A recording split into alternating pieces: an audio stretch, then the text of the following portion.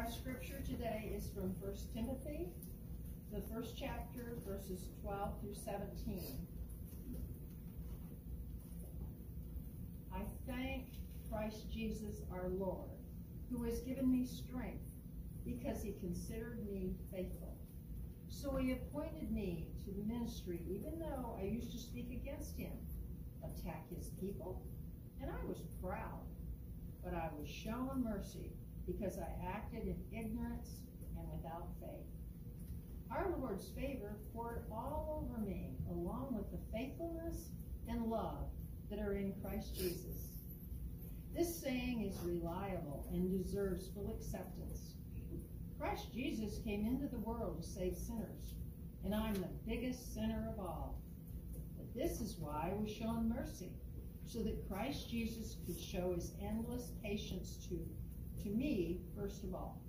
So I'm an example of those who are going to believe in him for eternal life. Now to the King of the ages, to the immortal, invisible, and only God, may the whole honor and glory be given to him forever and always. Amen. This is the word of God for the people of God.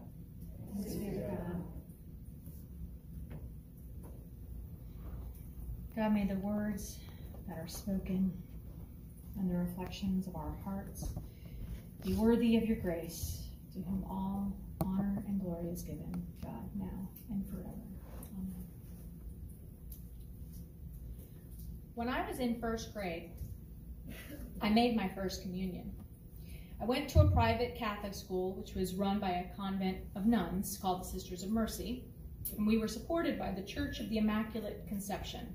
So we also had a handful of priests who lived in the rectory. The nuns ran the school, the priests ran the church. And growing up Catholic, your first communion is a pretty big deal. You couldn't receive communion without spending a lot of time preparing for it, learning about what it meant, what words would be said, how we would respond, and even how to line up and come forward and receive it. Before we could do any of that, we had to receive the sacrament of reconciliation. And those two sacraments went hand in hand because we were taught that we shouldn't come to the altar with unrepentant hearts and with unconfessed sin. And we do this a little differently in the Methodist Church because we believe that when Jesus Christ gave up his spirit on the cross, the veil in the temple was torn in two from the earth to heaven. And it signifies that there's no longer a need for an intermediary between us and God because Christ is that intermediary and we can pray directly to him. So we don't require anyone to have any formal training to come forward and meet Jesus in the communion meal, and we welcome all to receive it. Our traditional formal liturgy in our hymnals issues this invitation before communion. Christ our Lord invites to his table all who love him, who earnestly repent of their sin and seek to live in peace with one another. Therefore, let us confess our sin before God and one another. And then this leads into a prayer of confession that we say together. We haven't said it in a while. It begins, Merciful God, we confess that we have not loved you with our whole hearts. But in the Catholic Church, we didn't confess our sins together. We confessed them privately before the priest, either in a screened booth or face to face. We all usually lined up before the screened booths, but if the lines got too long, the nuns would usher us off to be face to face. And so we tried to be first in line. Afterwards, after we made our confession, the priest would give us a penance. Depending on what we had confessed, the priest would tell us to go to the altar and to kneel before God and to say certain prayers three Hail Marys, two Our Fathers, or any combination of prayers, including saying the whole rosary. And a rosary, in case you don't know, it's a set of prayer beads, and you pray through it bead by bead, and each bead signifies a different prayer. So when I had my first communion, one of the gifts that my mother gave me was my very own set of mother of pearl rosary, rosary beads. I had always loved my mom's rosary beads, which actually had been her mom's rosary beads, but those were just these clear crystal beads with a pewter cross. These were beautiful. I loved them. They carried me through all the years, all the way up until a few days before my mom died. And I remember sitting with her in the den that we'd set up her hospital bed in.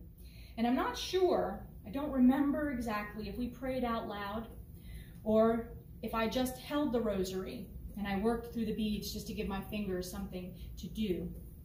What I do know is that when we came home from the hospital after my mom died, I couldn't find my rosary. I tore the house apart. I went through the laundry, I went through the trash, I called the hospital, I called the medical supply company who picked up her bed. I checked everywhere. Everywhere. When I moved in with my brother about a month later, I checked everywhere again. I checked every box that I packed. I checked every box that I unpacked. I opened every book. I didn't throw anything away without checking at least twice. When I moved to FSU a year and a half later, I checked everywhere again. Every box, every book, everything. And I have done this over and over and over. Every single time that I have moved, every time I go through a box of memorabilia, when I go through my mom's keepsakes, whenever I go through anything. I don't know how many pawn shops or thrift stores whose jewelry cases I've checked in the past 30 years, or how many times I've looked on eBay. I'll probably be searching my whole life. That rosary wasn't expensive by any means. My mom couldn't afford much. In fact, I remember the little Cuban mom and pop bookstore that she bought those rosary beads in. It was in the same shopping center where she was a drugstore manager. But my mom bought them for me. They were with us in our last days together. So they were important to me. They were cherished. They were so incredibly loved. And that's how God feels about us. We are that important. We are that cherished. We are that loved. And if we were lost, as even I was once more lost than my precious rosary beads, God will spend the rest of our lives searching for us, calling us through the Holy Spirit, and offering us abundant grace and rejoicing over us when we are found. So this week we're in the Gospel of Luke. We're in chapter 15, verses 1 through 10.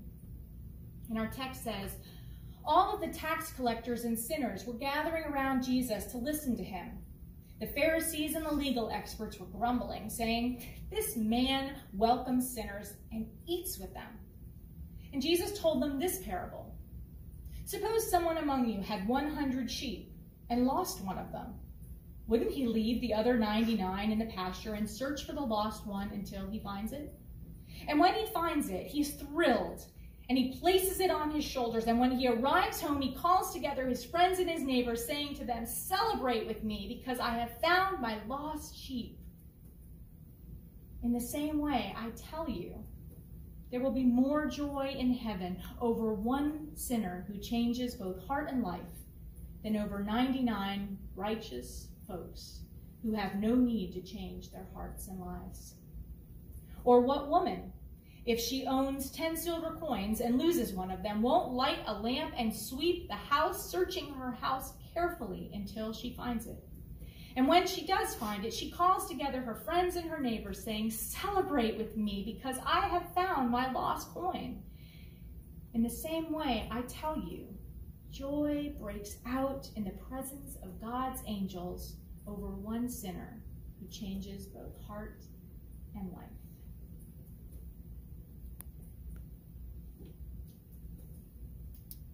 So if we think about this for just a moment, because it's really easy, I think, to disregard this passage and say, you know, we're not talking about anything important. I mean, first of all, we've got sheep. They're not all that bright. They don't smell all that good. And there's 99 of them who have managed not to wander away. And really, we can always get another one. So who cares about one missing sheep? You might remember, I think I've told this story before. A few years ago, our family went to Epcot. I think we only had five of our seven monkeys with us that day. And usually when we went to Disney, we would split off into groups. And this day we split off into groups of twos and threes. And two of those groups headed for Test Track. But they stopped at Club Cool to test all the different flavors of Coke from different countries. And Gary and I went to go ride the boat ride at the Land Pavilion. until my phone started to buzz and I answered it to hear our daughter Megan hysterically telling me that she had lost David. And she was so loud that Gary could hear her even though he wasn't on the phone with her, and he just took off while I trailed behind him trying to figure out where they were and what had just happened. My heart was in my stomach and I was frantic. And it seemed like a really long time, but it probably was only minutes and Gary happened to see David walking in the opposite direction, and he reached out his long arms and he scooped David up, and we all gathered together and we hugged. We were probably a little frustrated, but we did hug. And we decided to stay together for the rest of the day. So, was there a moment when I would have turned to Gary and said, You know, he's just a kid? They're not always that bright. They don't always smell too good. We have four more and there's two still at home, and those didn't manage to wander away. I'm sure we could get another one. Who cares about one missing kid? Or we can say, one silver coin? Really? Even if it's a silver dollar, it's just a dollar, right? The woman had nine other coins. Is it really worth tearing her house apart and sweeping her house mother-in-law clean just to find one coin? It's a little ridiculous, right? But let's pretend that that amount was equal to a monthly paycheck of $2,000. And we just lost a tenth of it. So that's $200. Say our mortgage alone is at least 1200 and every last dollar is needed for utilities and insurance and medication and for gas and for groceries and we're on a fixed income. And there's no way to earn or borrow any more money until next month. There's no place to cut costs. We've already eliminated all of the luxuries like Netflix and Chick fil A. And we have a choice. We can either keep the lights on or we can or we don't eat. Losing that $200, that tenth, could be devastating. And our text begins with Luke telling us that all of the tax collectors and the sinners were coming near to listen to what Jesus was saying. Because Jesus has just made quite a stir. He's just told the religious establishment that their guest list have missed quite a lot of people. And those that they've missed are the very ones who are crowding around him, probably as surprised as anyone that Jesus is saying that they are invited and they are welcomed and they are overwhelmingly loved and they are desperately wanted in the kingdom of God. All of the tax collectors and the sinners. All of those on the margins, all the poor and the blind and the sick and the lame, the widows, the children, the orphans, the foreigners, all of those who are unnoticed and unwanted and uncared for and insignificant. This is a great crowd of people. So if you were one of those handful of Pharisees and scribes who were surrounded and outnumbered by this whole lot of folks that you would normally cross the street to avoid, you might be a little irritated at Jesus. And you might grumble to your friends. This fellow welcomes sinners and he even eats with them. Can you believe it? And he expects us to do the same thing. What in the world is he thinking? Last week, Gary read to us from Psalm 139. You have searched me, Lord, and you have known me. Before a word is on my tongue, Lord, you know it completely. So Jesus already knows what they're thinking, even if he didn't hear them, as they muttered to one another, as they held their robes close to their bodies, trying to not let them touch those people who were crowding in on them. And he tells them this story about this lost sheep and this lost coin. Not because the sheep and the coin were so important, so significant, so irreplaceable to anyone else in the world, but to the one to whom they belonged.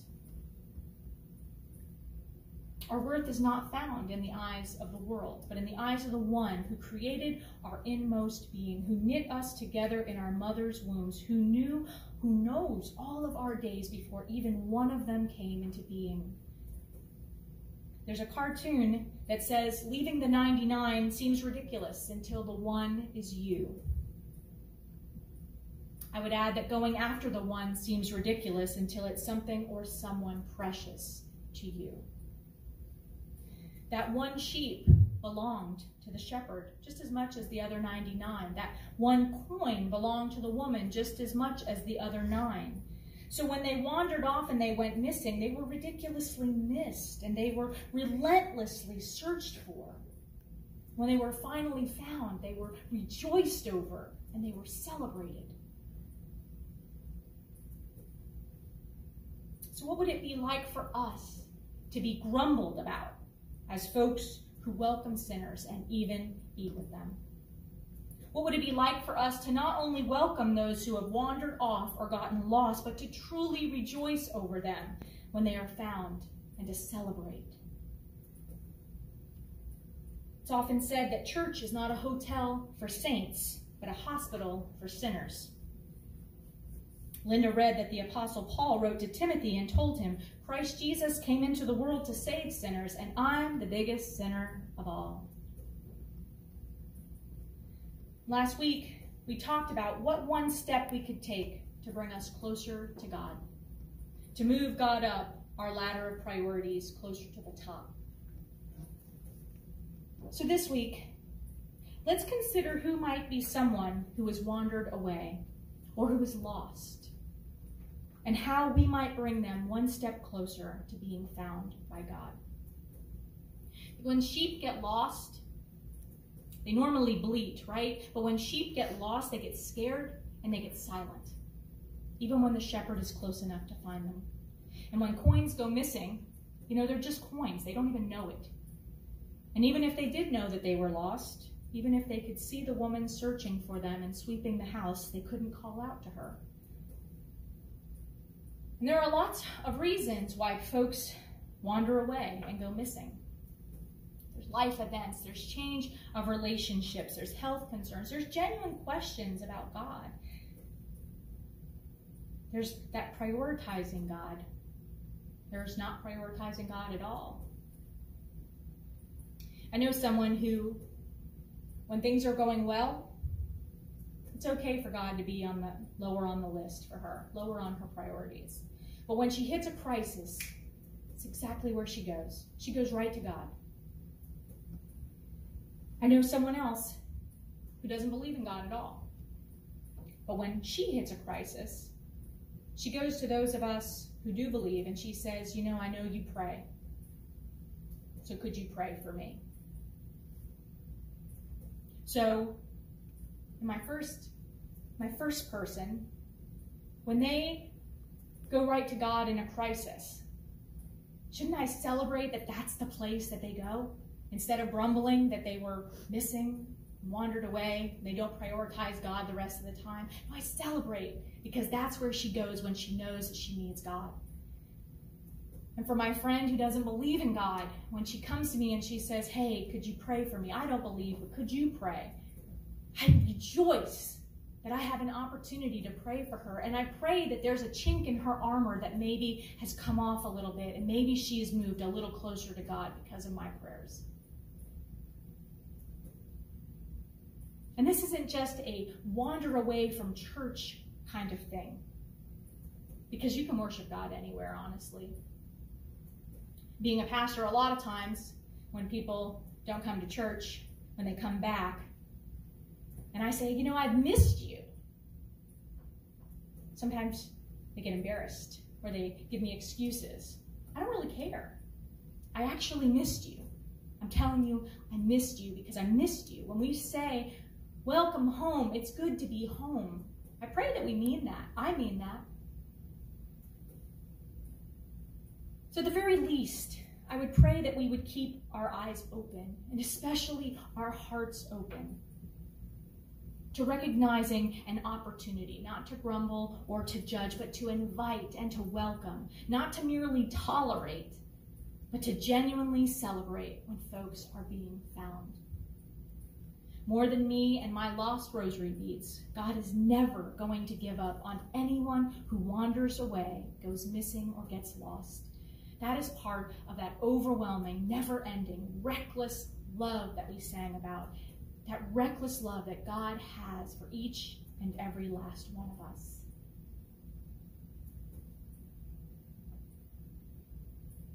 Would you pray with me?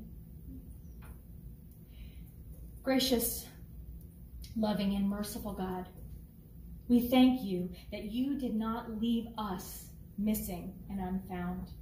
That even if we were still lost, that you would still be pursuing us. That even if we lose our way today and we wander off into the wilderness, that you would never give up on any one of us. And we are so grateful, Lord.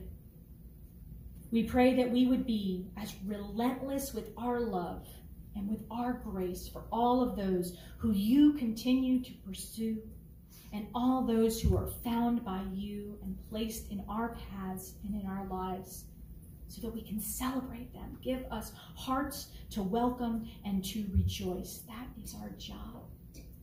Thank you, God. Amen and amen.